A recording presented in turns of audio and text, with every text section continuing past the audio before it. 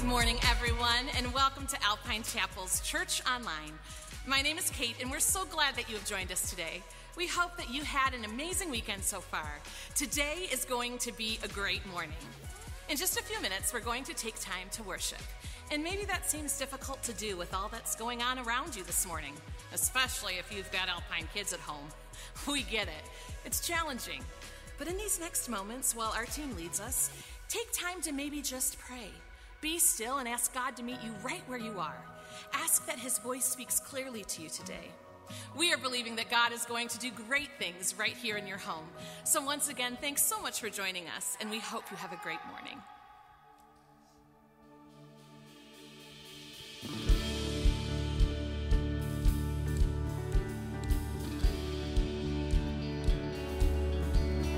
I was buried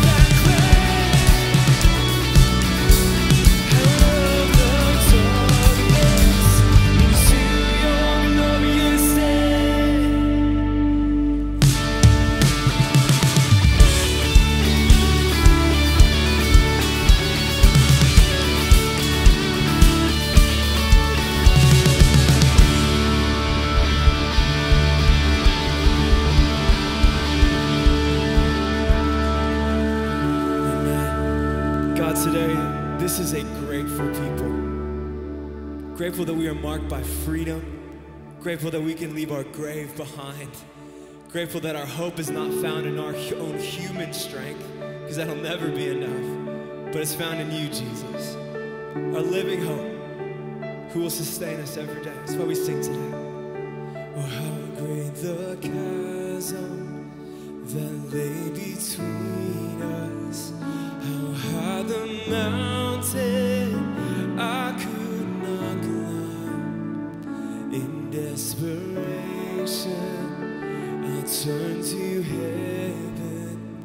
and spoke.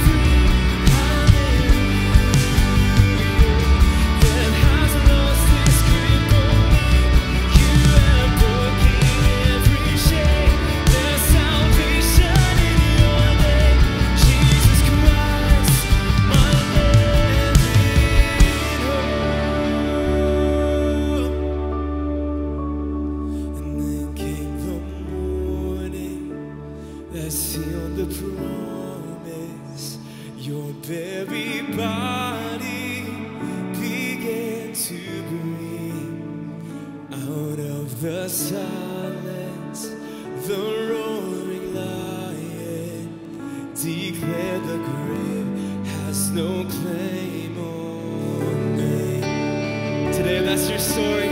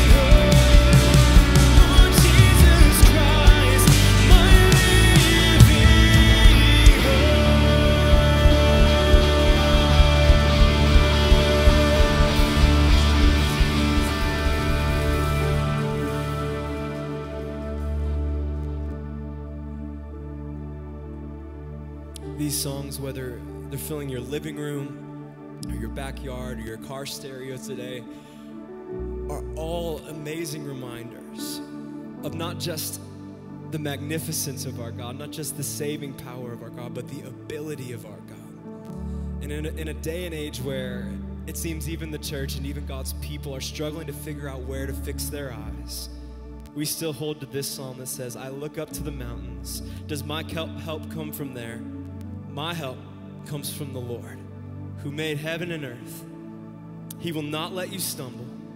The one who watches over you will not slumber. Indeed, he who watches over Israel never slumbers or sleeps.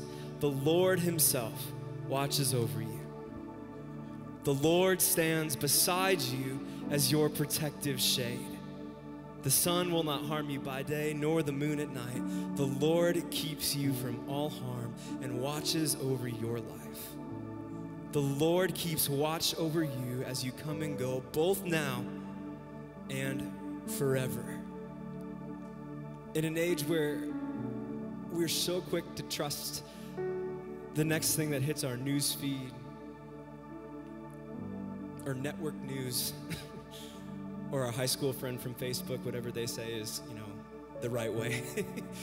we're so easy to put our eyes into the places that don't offer living hope. But today we come, regardless of where you're at, like I said, if you're at your house, just standing here right now, we come and we lift our eyes up to the hills in the presence of the living hope, the living hope, Jesus, who sustains us, who watches over us, and who will always be our help because he alone is able to preserve his people, to look upon his people in favor. And in the form of just gracious gift after gracious gift, we get to receive life. And so we gather in these places to proclaim the worth and the honor and our gratitude and our joy that we have in our Father alone. Today, God, I pray that we would learn to take our eyes off of the hopes of the world and fix our eyes on the living hope. The one who stays stable, stays firm beneath our feet, even in the moments where it seems like all hope is lost. When the dark has set in and the light will never prevail. Today, God, wherever we are, we fix our eyes upon you. As we sing this today, would you let it be a reminder to our hearts to come back to you and look up?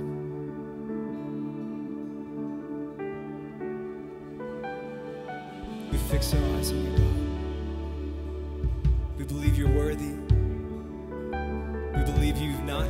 Spoken the most life and freedom that we'll ever hear. So we sing today. Do you feel the world is broken?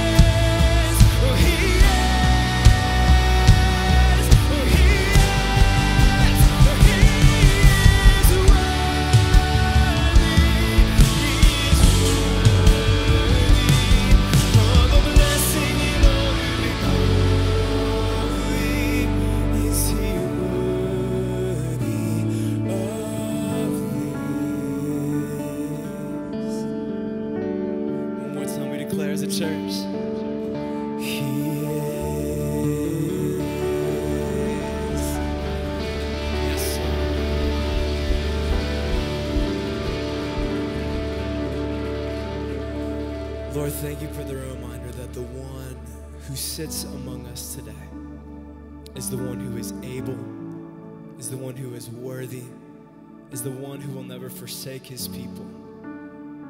Lord, we talk all the time about how you are our hope. And we define that as a competent expectation of that coming good ahead of us because we believe that your character and your promises are trustworthy. And so today, not because of anything we've done, not because of anything we've earned, you still offer your whole self to us. And for that, we say thank you.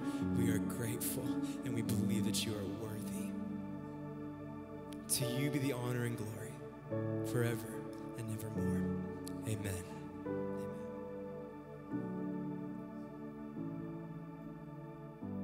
We are so thankful for the team that leads us in worship every week, reminding us of who God is and what He's done. And in just a moment, we're going to continue in worship by giving. But first, we just want to say a special thanks to those who are joining us for the first time. If you're new to Alpine, we would love to say hey, connect with you, and even give you a small gift just to say thanks for being with us. Just text ACLZ to 97000, follow the link, and we will get that gift sent out to you. We want you to know that when you give here at Alpine, you're doing way more than just keeping the lights on or keeping our live stream up and running. You're joining God on his mission to bring hope, and we just want to say thanks. Thank you for faithfully giving and being part of sharing hope with our community. If you want to give today, you can follow the easy and secure ways to give on screen or follow the instructions provided by your service host in the chat. Once again, thank you for your generosity. Well, we had another amazing Wednesday night outdoor gathering this past week as we got to watch our families and kids in Family Olympics. In fact, if you are looking for an in person gathering, we want to invite you to this week's water night on Wednesday from 6 to 8 p.m. It's guaranteed to make a big splash. See what I did there? Anyways, no registrations, no fees, just show up and enjoy community, food, games, and live music. Plus, this week will be extra special as we will be doing outdoor water baptisms. You're not going to want to miss this. We hope to see you there. Well, today we continue our series on asking for a friend, where we will get to explore and discuss what God's Word has to say about those questions that show up in our everyday lives.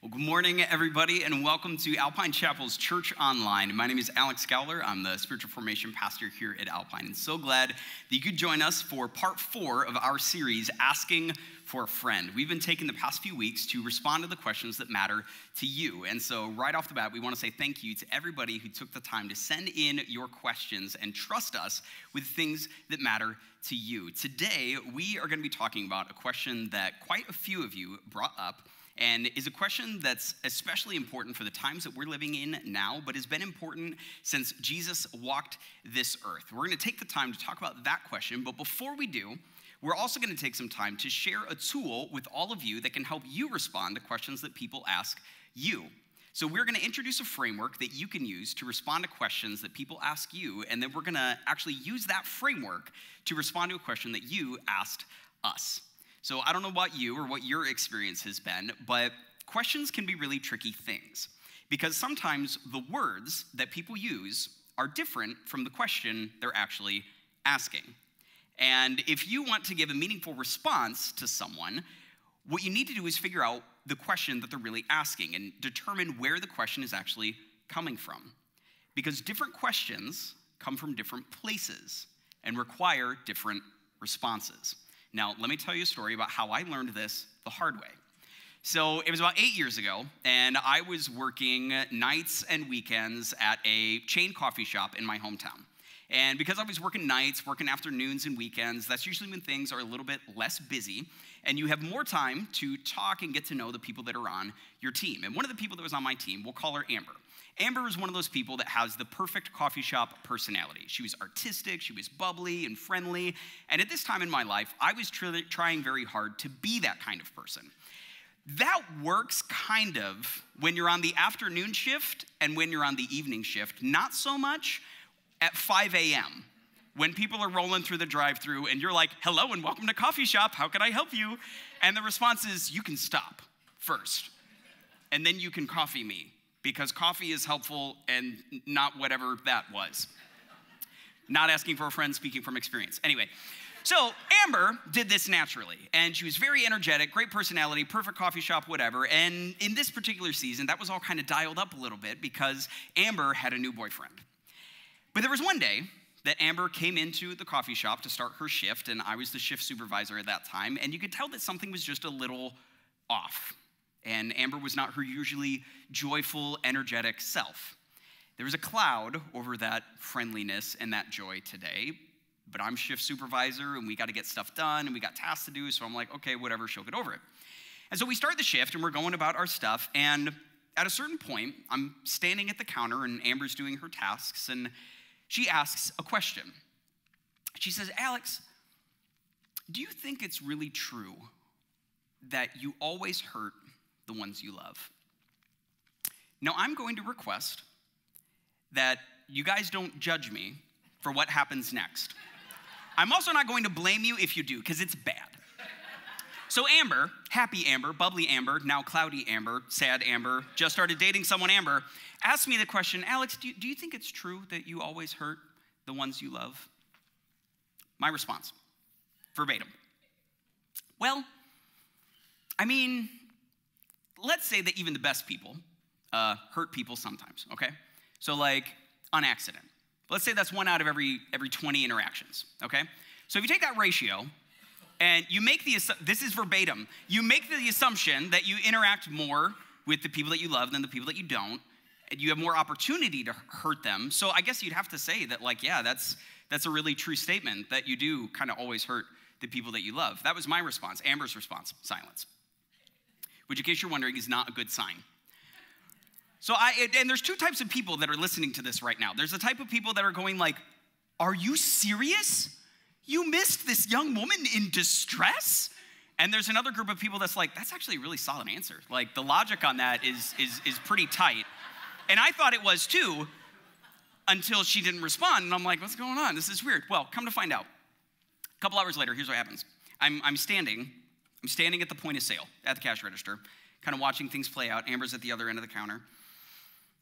And in walks Amber's boyfriend. He throws open the door to the cafe, carrying a bouquet of flowers. Their eyes meet from across the coffee shop, and Amber drops her gaze and blushes. And, and, and he, he glides through the coffee shop, and the birds are singing, and the music is swelling. And, and he walks up to the counter, and he, and he places the bouquet, and he looks her in the eyes. And who knew that you could say so much by saying so little? And I'm, I'm standing at the cash register watching this hallmark moment play out. And it's in that moment that I realize oh no, I have made a critical error in my response to Amber. I was responding to her words and not to the question she was actually asking.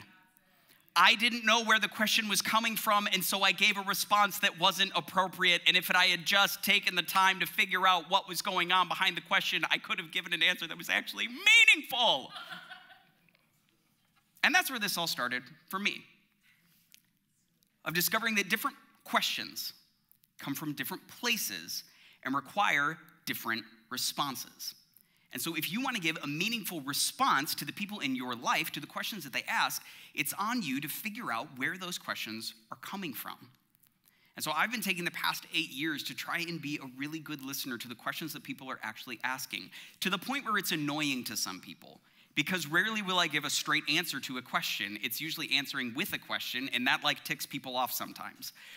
But in order to give a meaningful response to the questions that people ask, we need to know where those questions are coming from.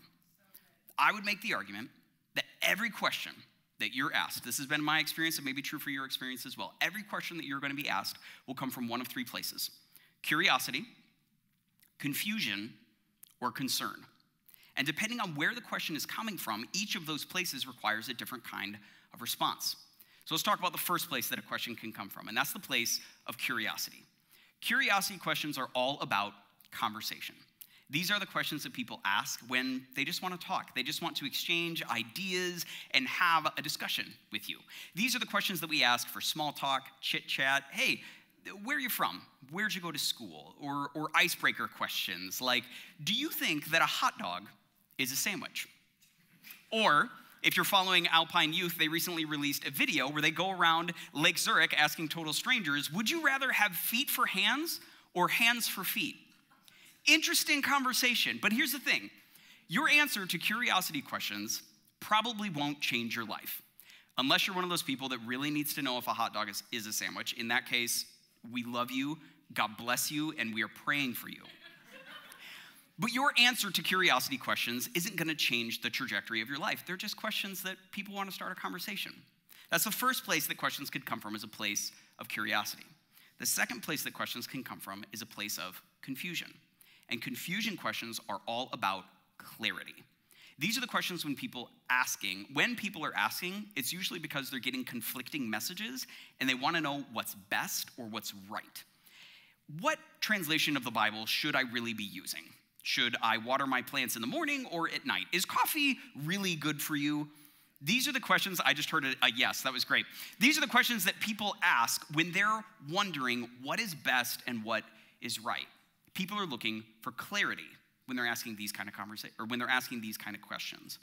So the questions can come from a place of curiosity, a place of confusion.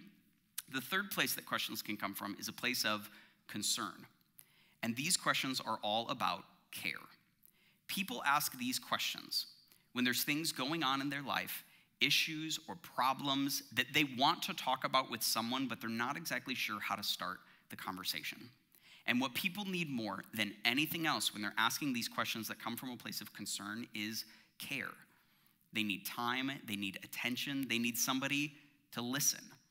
Because people aren't looking for great responses when they're asking these kind of questions, they're looking for great listeners.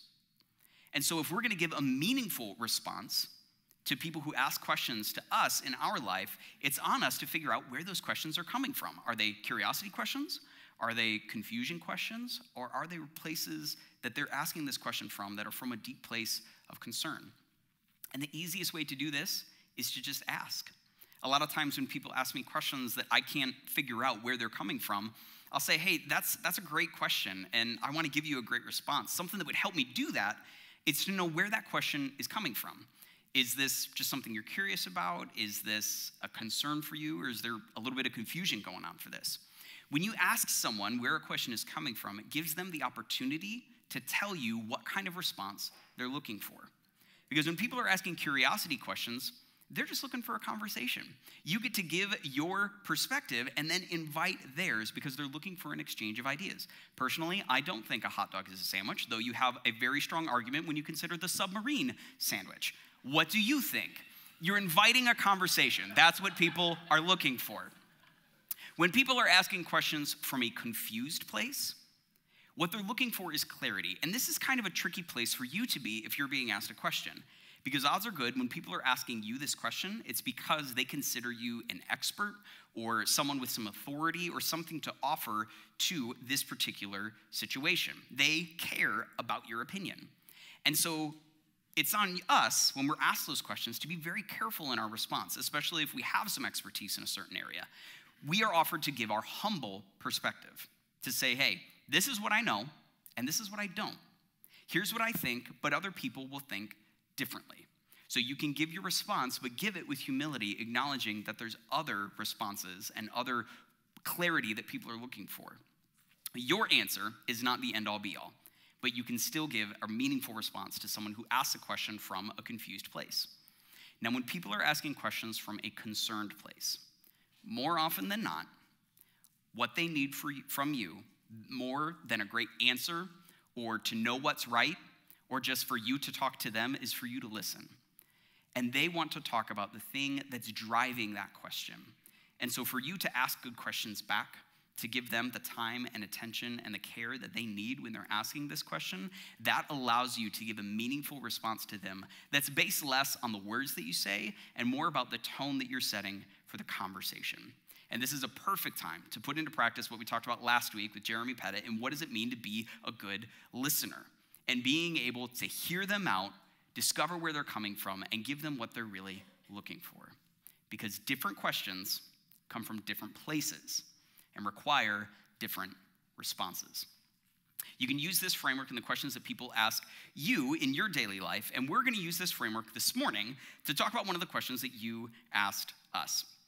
Now, the question that you asked, uh, quite a few of you asked it actually, and it's a question that's been important to followers of Jesus since he was walking the earth and is still important today. And it's a conversation that we need to have. And the question is this Are we living in the end times. We're going to go there. This is a conversation that's worth happening or that's worth having in this season. Are we living in the end times?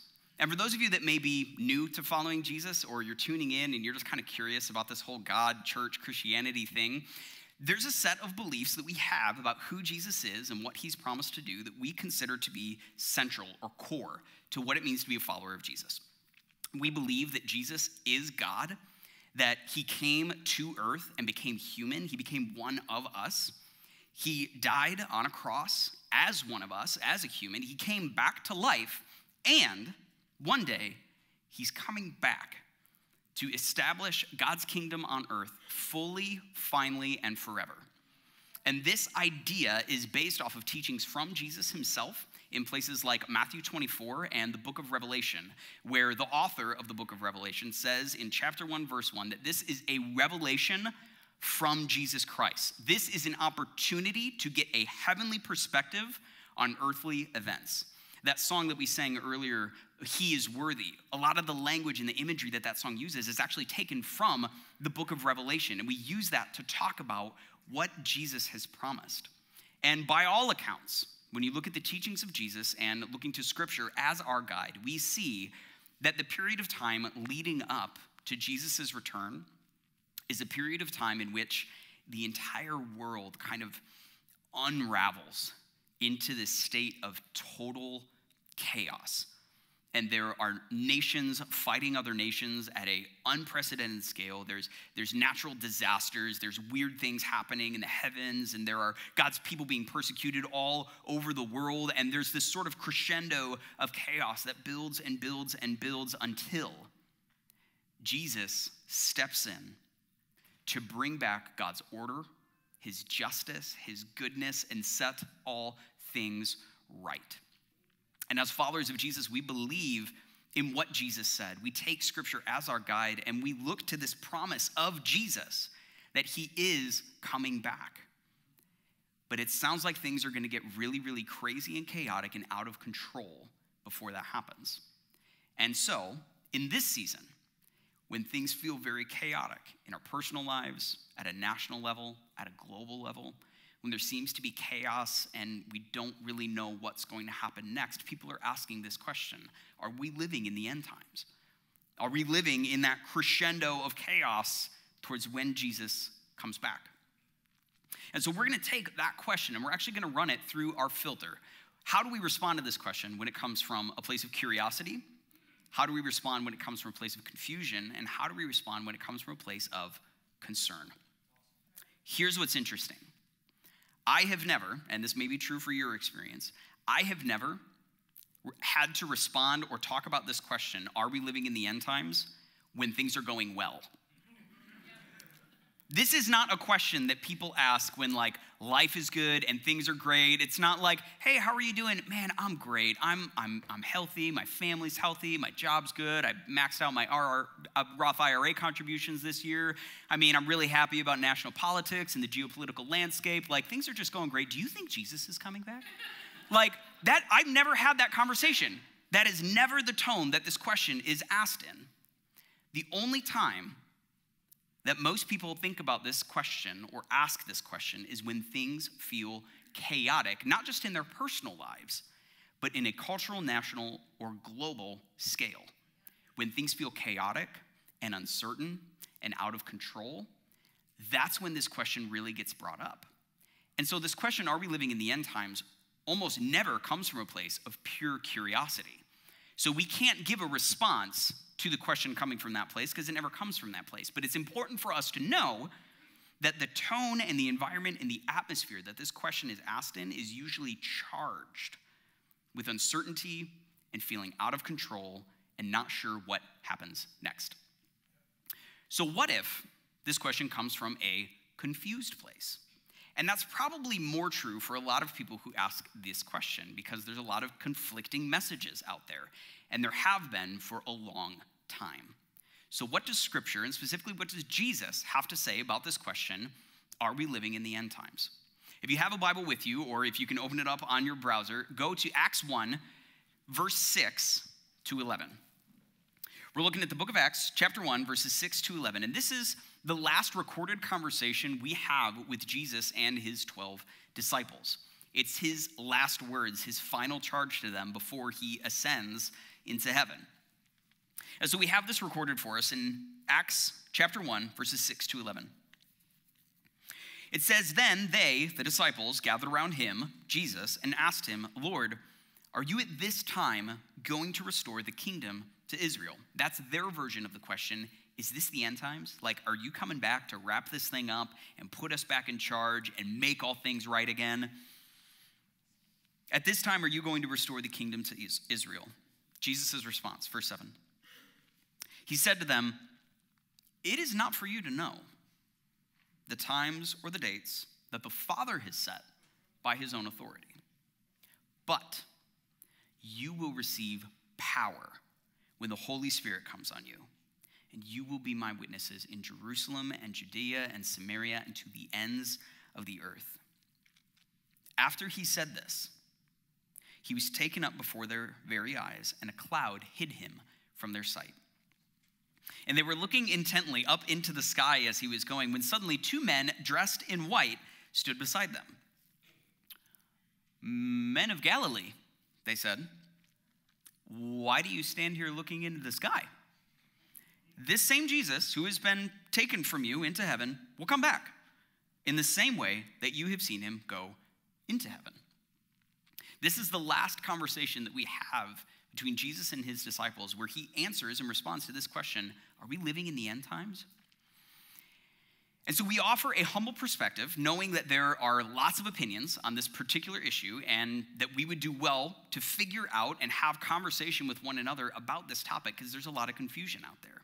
Here's a perspective that we can offer. Students of Scripture and students of history, taking Scripture as our guide and Jesus at his word, an answer that we would give to this question, are we living in the end times, is both yes and maybe. Yes and maybe. What do we mean by that? If the question that's being asked is, are we living in the period of time between when Jesus left and when he's coming back, then the answer obviously is yes. Here's the thing Jesus gives us an unexpected gift in Acts 1, verses 6 to 11. What the disciples are looking for when they ask this question about when he's coming back is certainty. They want a date and a time associated with when he's coming back. Jesus doesn't give them certainty, he gives them clarity. He says, basically, it's none of your business to know when I'm coming back. Here's what you do need to know you will receive power by the Holy Spirit, and you will be my witnesses to everyone everywhere. So go.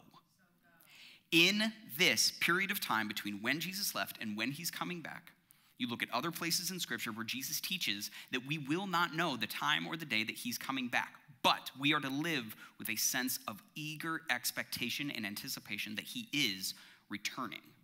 In the meanwhile, we are given the marching orders to be filled with the power of the Holy Spirit and to bear witness to the person and work of Jesus with the words we say, the things we do, and who we are together.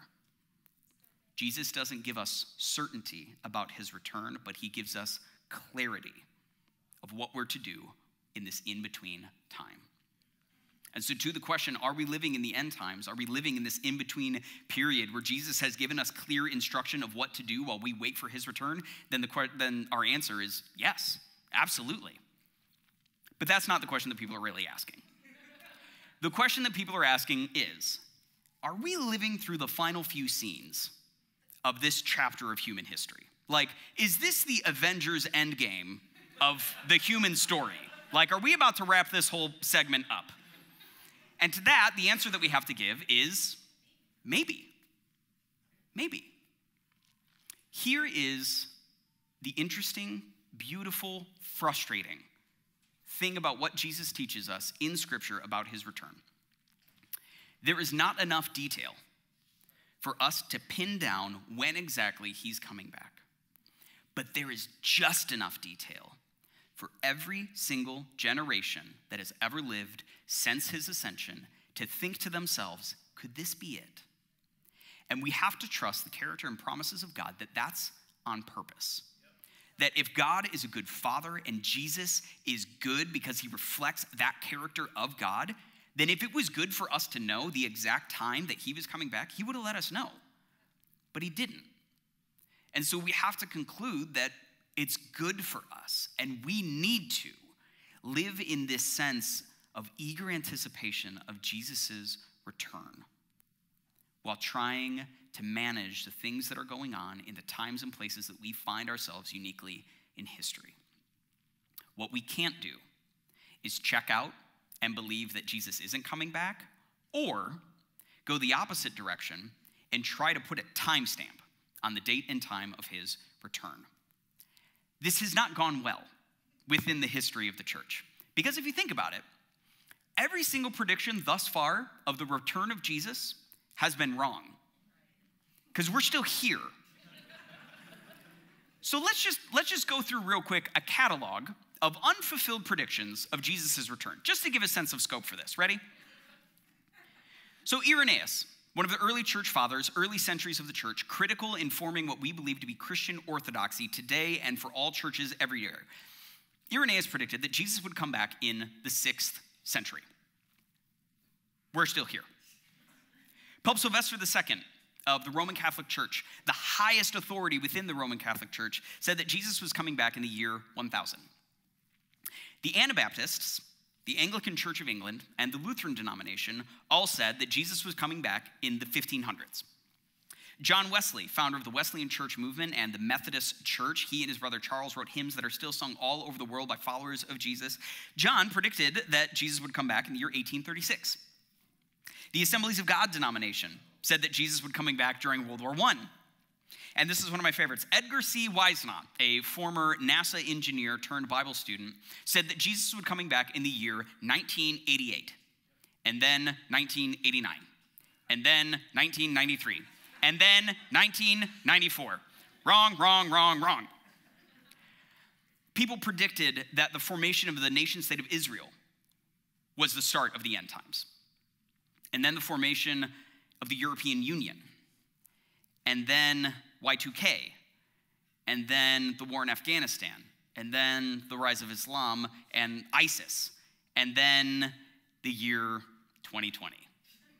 Ta da! And so people are caught in this idea that we can somehow work against the teachings of Jesus when Jesus said, It's none of your business to know when I'm coming back, to say, No, we can decide when you're coming back, and we can put a timestamp on that. You have better odds at this point of winning the lottery, being struck by lightning, or predicting the weather in Illinois. than you do predicting the return. Like, that's saying something. And so, for us to think that we can work against the teachings of Jesus and try to put a timestamp on his return is missing the point completely.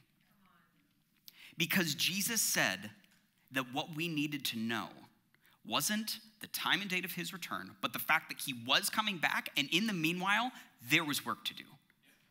And that work begins when we are filled with the Holy Spirit, trusting Jesus in community and moving into this world that is chaotic, that is crazy, that is feeling out of control right now. And instead of being messengers of more destruction and chaos, we are messengers of hope to say that God is who He says He is, that He is still in control, and that we have a confident expectation of a better tomorrow that is based on who God is and what He said He will do. Those are our marching orders. Now, regardless of whether Jesus comes back in a minute or a month or a hundred years from now, our mission has not changed. To bear witness to the good news of Jesus with what we say and what we do and who we are together. So, are we living in the end times? Yes, and maybe. Regardless, our mission has not changed to be messengers of hope together. And that's a perspective that we bring to this question when there is a lot of confusion out there right now. But there's another place that this question can come from that requires an even deeper response. When this question comes from a place of concern, people asking this question, again, this question is never asked out of pure curiosity. It's asked when people feel out of control, when things feel unpredictable, when things feel uncertain, and we don't have the answers that we're looking for. And at this point, what would be ideal is for all of us just to be able to sit down and talk about this. What are you feeling? What's going on? When you think about this question, what's driving that? And Lord willing, you guys are doing that in community because that's what we want you to be able to do because that's where you're going to find what you need in this season of people to listen and care. Here's what I've found in my conversations with people about this question so far in this particular season. In almost every single case, that uncertainty, the anxiety, and that feeling of helplessness that is often loaded into this question are we living in the end times? is all driven by fear of the unknown. We don't know what this fall is going to look like. We don't know what's going to happen to the economy. We don't know where the global scene is going. We don't know what's going to happen with politics this November. We just don't know. And that feeling of being out of control and uncertain causes people to have this anxiety and this fear. And what we want to do is medicate with information. And we think that we can fix this fear with data. And again, if we are looking to Scripture as our guide, Scripture doesn't tell us that perfect data drives out fear. It tells us that perfect love drives out fear. And what we need is not more information, what we need is deeper intimacy with who God is and what He says He'll do. The invitation that we have in this season, and if you're watching this and you have that sense of anxiety or helplessness or whatever that's kind of driving you to ask this question and this frantic search for, for, for data and charts and graphs and how can we figure this out? Because if we just figure it out, then the fear will go away. A, that's not true. B, the invitation to you is an invitation into a deeper understanding of who God is and what He has said He'll do. Because it's from that place that we have that confident expectation of a better tomorrow even when things look uncertain, even when things feel out of control, even when we don't know what happens next. We know who is still in control and we know who we are.